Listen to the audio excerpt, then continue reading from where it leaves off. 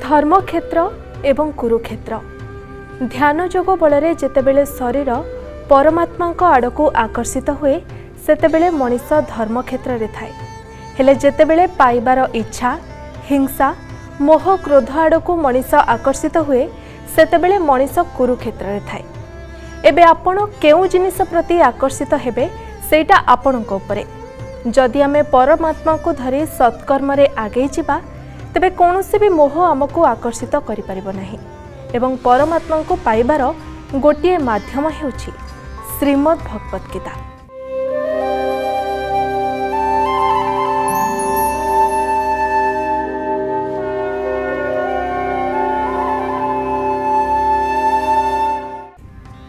ନମସ୍କାର ମୁଁ ସ୍ୱୟଂ ପ୍ରଜ୍ଞା।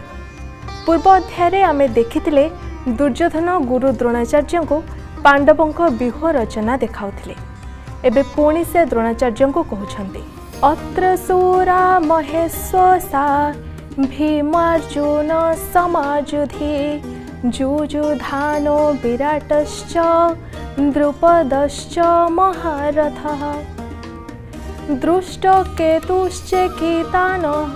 काशीराजश्च बीर्यवान् पुरुजित् कुन्तिभोजश्च शैव्यश्च नरपुङ्गवः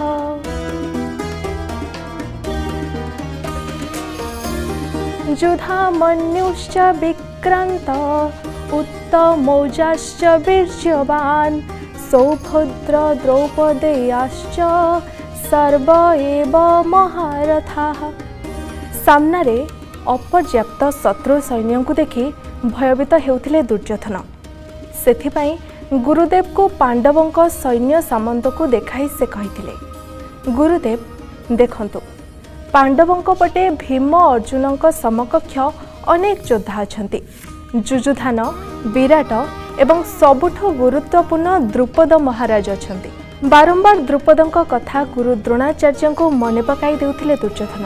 କାରଣ ଦ୍ରୁପଦ ଏବଂ ଦ୍ରୋଣାଚାର୍ଯ୍ୟ ଉଭୟ ଶତ୍ରୁ ଥିଲେ ଏବଂ ଦ୍ରୁପଦଙ୍କ ପୁତ୍ର ଏହି ଯୁଦ୍ଧରେ ପାଣ୍ଡବଙ୍କ ପକ୍ଷରେ ଥିଲେ ଯିଏ କେବଳ ଦ୍ରୋଣାଚାର୍ଯ୍ୟଙ୍କ ବିନାଶ କରିବାକୁ ଜନ୍ମ ହୋଇଥିଲେ। ସେଥିପାଇଁ ସେ କଥା ଦ୍ରୋଣାଚାର୍ଯ୍ୟଙ୍କୁ ମନେ ପକାଇବା ପାଇଁ ଚାହୁଁଥିଲେ ଯାହାଦ୍ୱାରା ପାଣ୍ଡବଙ୍କ ପ୍ରତି ତାଙ୍କର ରାଗ ଆହୁରି ବଢ଼ିଯିବ। ସେ ଆହୁରି ମଧ୍ୟ କହିଲେ ଯେ ତାଙ୍କ ପକ୍ଷରେ ଦୃଷ୍ଟକେତୁ ଚେକିତାନ କାଶୀରାଜା ପୁରୁଜିତ କୁନ୍ତିଭୋଜ ବିକ୍ରାନ୍ତ ଅଭିମନ୍ୟୁ ଏବଂ ଆହୁରି ଶକ୍ତିଶାଳୀ ବୀରସୈନ୍ୟ ଅଛନ୍ତି। ଆମ ଉପରେ ଏହାର ଭାରି ପ୍ରଭାବ ପଡ଼ିପାରେ। ଏତେ ବୀରରଥୀ ମହାରଥୀ ସେପଟେ ଅଛନ୍ତି। ଆମେ ତାଙ୍କୁ ପାରିବା ତ?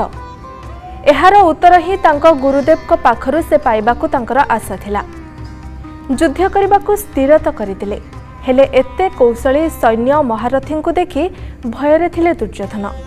ଏବେ ଗୁରୁଙ୍କର କ'ଣ ପ୍ରତିକ୍ରିୟା ରହିବ ତାହା ଦେଖିବା ପରବର୍ତ୍ତୀ ଅଧ୍ୟାୟରେ। ନମସ୍କାର।